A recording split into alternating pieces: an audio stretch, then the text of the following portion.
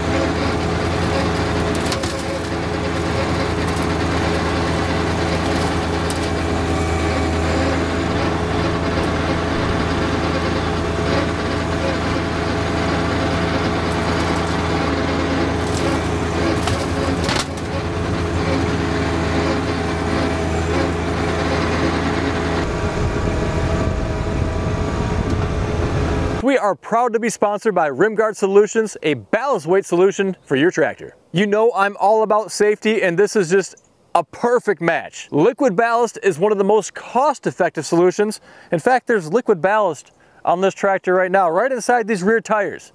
So it's hidden, it's out of the way. It gives you that extra stability you need when you're using the front end loader. It gives you safety to keep those rear wheels planted on the ground, and it gives you traction when you need it. Well, why Rimguard?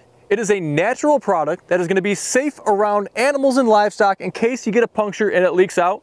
That means it's also going to be safe on your wheels as well. You know the old calcium chloride that'll rust those things out and ruin them. It is also the heaviest natural ballast weight on the market today and the most convenient, which is available at over a thousand dealers nationwide. So head on over to rimguardsolutions.com to find a dealer near you. Now, similar to a roadside ditch like we mowed, which has a steep incline on it, so does a pond bank. And it can be a bit of a tedious job, and fortunately you don't have to do it very often, maybe just a handful of times a summer, but you can really back down. You kind of come at it back into it perpendicular to the pond edge and you can really reach down those steep pond banks and cut, well, I was able to cut, mm, I don't know, 90, 95% of the tall grass that was along the pond edge there. And that's not something I can do with a zero turn. It's not something I can do with a belly mower, not something I can do with a flail mower. And I can get, I can get closer with a flail mower, but nowhere near what I can do with a brush hog. And I can reach so far, in fact, that I can even get the rear tail wheel all the way down into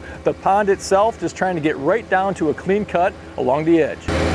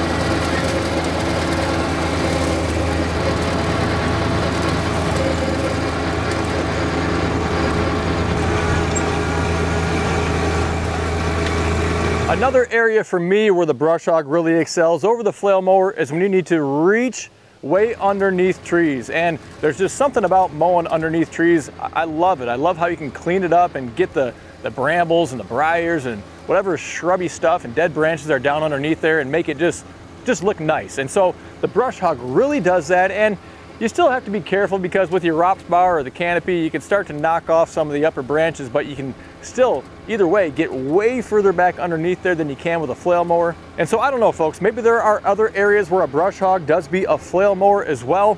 You know, it does not leave as clean and consistent of a cut, but it's, it's a brush hog, right? It's just chopping stuff down. It's not meant to be a finished mower. Not meant to give you a finished result. A flail mower, you can actually, you can mow your lawn with. You can get a, a finished result with that. Just not the case with the brush hog. It's gonna be faster as well. And so at the end of the day, I don't think I would lose sleep over it, right? Because they're both gonna get the job done if you're looking for something to cut your fields and maintain all those kind of hard to reach or nasty areas. They can both handle that kind of thing. But if you have more of maybe one type of application, right? Maybe you have a lot of pond edge or a lot of ditch or a lot of big trees to mow under or whatever that is, maybe that leans you more towards a brush hog. Or maybe you're on a tight budget or a tighter budget and you go towards a brush hog. Or maybe you want that more consistent, clean cut just a, just a tidier finish overall. A flail mower is gonna get you that and handle not just your fields, but even your lawn as well if you wanted to. Now, while we had the hog out, we did tackle some, some trails in the woods. And so you're gonna notice these trails are, are mainly bare dirt and they weren't just a, a week or two ago. I brought my skid steer over and had a debris grapple on there and that is the only thing I used to make those trails look like that. They were completely overgrown uh, like the woods was and just pushing that grapple along on the skid steer did everything you see. So it left some of those small saplings and in a few areas it didn't, it didn't scrape down clean. So I came back through the brush hog and cleaned that all up. And then I could use your guys' advice. We have some grapevines up here and that was my first time ever mowing through grapevines and uh, I smoked a mirror. Mirror came right off the, off the tractor, got tangled up in the grapevines there too and we lost some grapes and I can see why orchard tractors would be so valuable to get in between uh, different rows of crops because the vines, the grapes wanted to snag on everything they possibly could on my tractor here. But I don't know anything about maintaining grapevines and so I don't know what I can spray to keep the weeds and the grass from growing. I look, you know, you drive down the road and you see all the, the big orchards and, and it's basically bare dirt all around there. So I don't know what kind of chemical herbicide they're using on that. And for some reason, I haven't found any great reliable resources on, on Google or on YouTube to kind of talk about maintenance of grapevines and, and, and small vineyards like I guess we have here and uh, what to do with them at harvest time and everything else. So I'm a complete newbie looking to learn something new. So if you have a good resource or some, some tips you can point me in the right direction, leave some links down in the comments section so I know where to go and educate myself.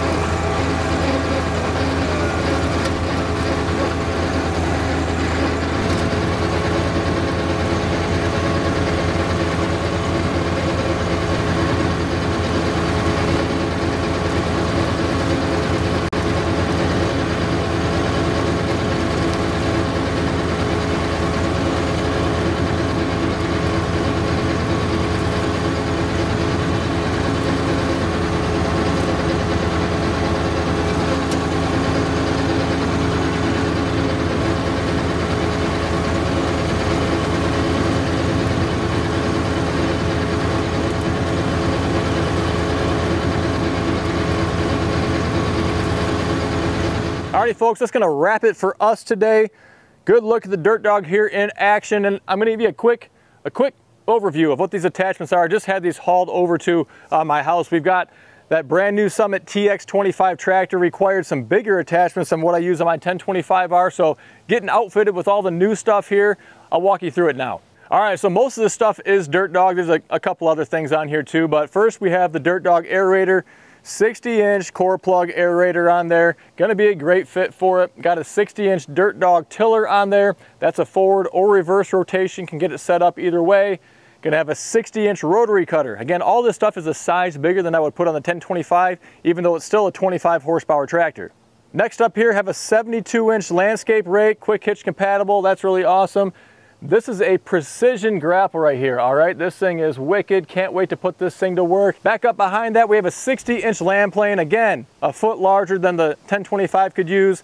Then we've got an all-purpose plow. Again, it's gonna be another foot larger too. One, two, three, four. Yeah, five shanks on there compared to three shanks that we use on the 1025. Now, last couple things that are here, uh, we've got a UTV sprayer, 45 gallon. We also have 65 gallon, but I just figured I'd grab the 45 gallon and, and try that out. So that's not for that, that's not for the tractors, but we do sell them for the tractor. We've done some video on that too.